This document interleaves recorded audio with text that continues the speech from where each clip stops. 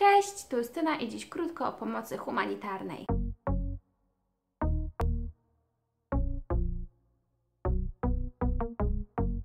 Dziewiętnastego sierpnia przypada Światowy Dzień Pomocy Humanitarnej. Święto to ma na celu zwiększenie świadomości na temat działań związanych z niesieniem pomocy humanitarnej na świecie. Ale czym jest pomoc humanitarna? Są to działania prowadzone w celu udzielenia pomocy ludności, która znalazła się w trudnej sytuacji, na przykład w kraju ogarniętym wojną domową, albo w wyniku jakiejś klęski żywiołowej, typu, nie wiem, wybuch wulkanu.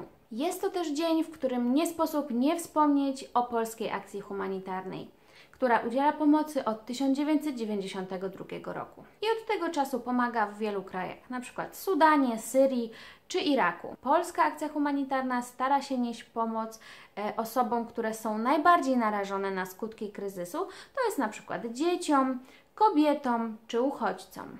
Jednym z najważniejszych działań polskiej akcji humanitarnej jest ułatwianie dostępu do wody poprzez na przykład e, budowanie studni czy też dowożenie wody cysternami. Innym aspektem działań PACH jest pomoc natychmiastowa, właśnie na przykład kiedy nastąpi jakaś klęska żywiołowa e, czy wybuchnie wojna. Wtedy PACH organizuje pomoc na przykład w zakresie e, zapewniania schronienia czy dostępu do opieki medycznej. Kolejnym obszarem działań PACH jest pomoc żywnościowa.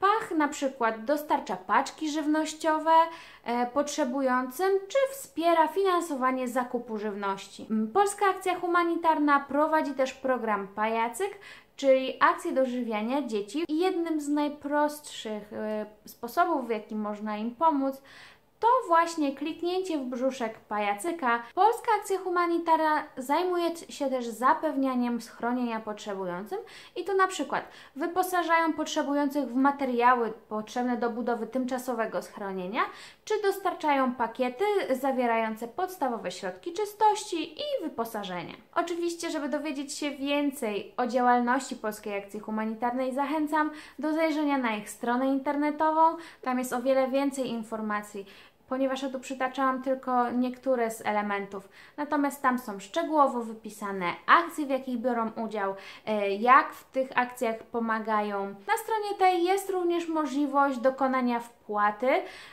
darowizny na rzecz organizacji i w ten sposób wsparcia ich działalności. Co jeszcze chciałam dodać, to to, że wszystkim osobom zaangażowanym w niesienie pomocy humanitarnej należy się ogromny, naprawdę ogromny szacunek, biorąc pod uwagę fakt, że niekiedy osoby takie mogą znaleźć się w bardzo dużym niebezpieczeństwie, czy wręcz stracić życie, niosąc pomoc. Ok, i to już wszystko na dziś, więc jeśli podobał Ci się filmik, zostaw łapkę w górę, zasubskrybuj kanał, możesz też zerknąć na inne filmiki. Do następnego, pa!